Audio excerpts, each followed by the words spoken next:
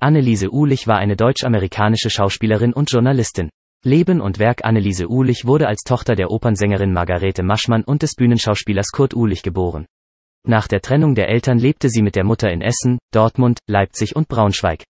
1937 ging sie nach Berlin, nahm Schauspielunterricht an der Peter Reimann Akademie und machte gleichzeitig eine Ausbildung als Modezeichnerin.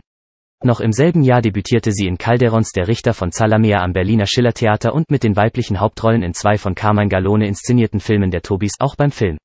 1939 40. trat die Schauspielerin, die von klassischer Schönheit war, gleich in vier Kriminalfilmen auf, in denen sie bezaubernde, aber hintergründige und verdächtige Frauen verkörperte. Im Film Der Vorhang fällt erweist sich am Ende tatsächlich, dass die elegante Schöne aus Eifersucht einen Mord begangen hat. In dem von der Terra produzierten, von klassischen faschistischen Themen wimmelnden Propagandafilm Blutsbrüderschaft spielt sie eine von zwei ungleichen Freunden umworbene Krankenschwester. In der Anfangszeit des Zweiten Weltkrieges wurde Anneliese Uhlich auch in der Truppenbetreuung eingesetzt und tingelte in holländischen, französischen, polnischen und russischen Fronttheatern. Nach einem Konflikt mit Propagandaminister Josef Goebbels ging sie 1942 ebenso wie ein Jahr später auch Lida Barova nach Italien, wo sie in fünf weiteren Filmen mitwirkte und nach Mussolinis vorläufiger Entmachtung im Juli 1943 als Dolmetscherin für seine Familie arbeitete.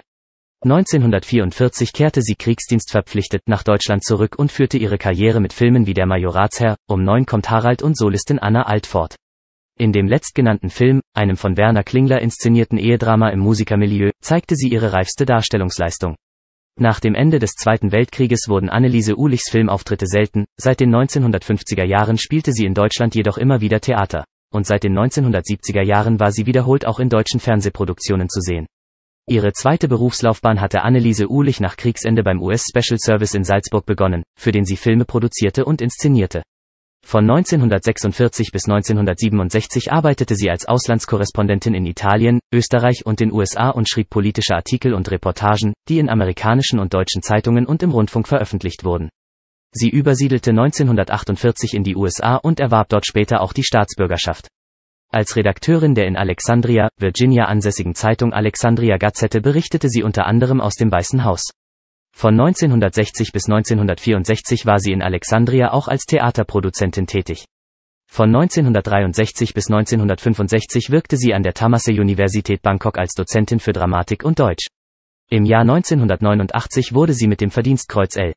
Klasse des Verdienstordens der Bundesrepublik Deutschland geehrt. Anneliese Uhlich war in erster Ehe seit 1939 mit dem Schauspieler Kurt Weizmann verheiratet.